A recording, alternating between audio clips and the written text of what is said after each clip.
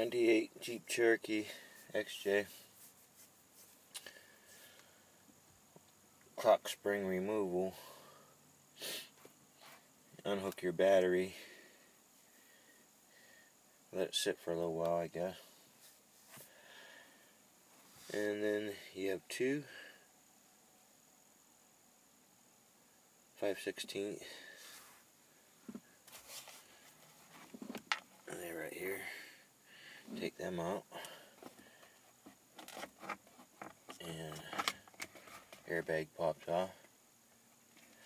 And then you unplug your airbag unplug your horn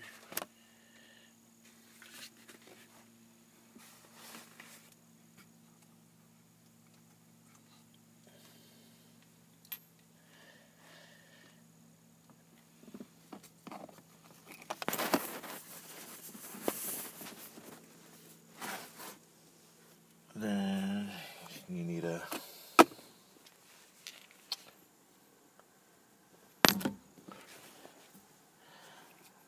what is it? Thirteen sixteen to take this gun off. And then you need a puller from AutoZone or Auto Parts Store. And will screw right in there and it'll pop the wheel right off. And then you unplug this. This is your airbag.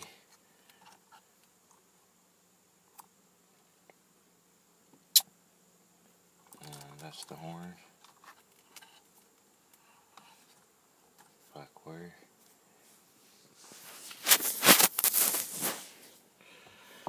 So what I did is went to the AutoZone and uh, got the puller, pulled the wheel off, and then took the clock spring off.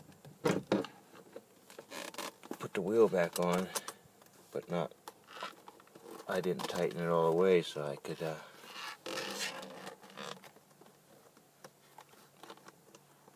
so come out now.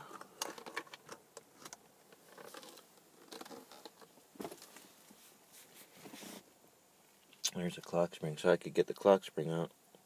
And then I put the wheel back on and drove home. But, so now I'm at home. Now there's a clip up on the top, and there's a clip on the bottom to, under here.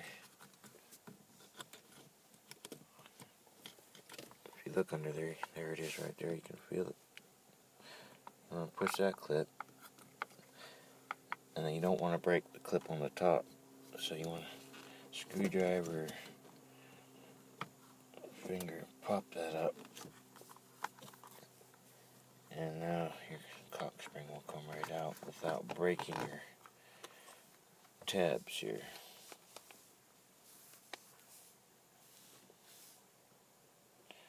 There's one tab. The other tab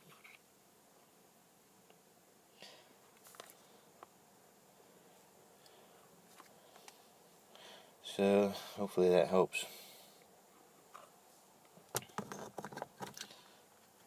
Somebody getting their clock spring out without breaking their tabs. It just snaps back in. So I got this all repaired now. I'm putting it back together. And I'll have my cruise control and my horn working again. See, this is how you test the horn. Yes, the clock spring is working, the horn's working. What you could do if you want to rig up a horn.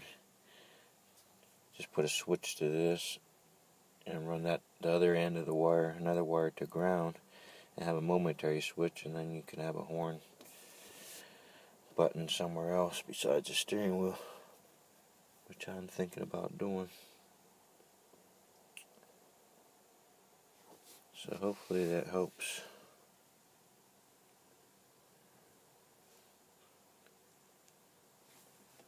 Isso.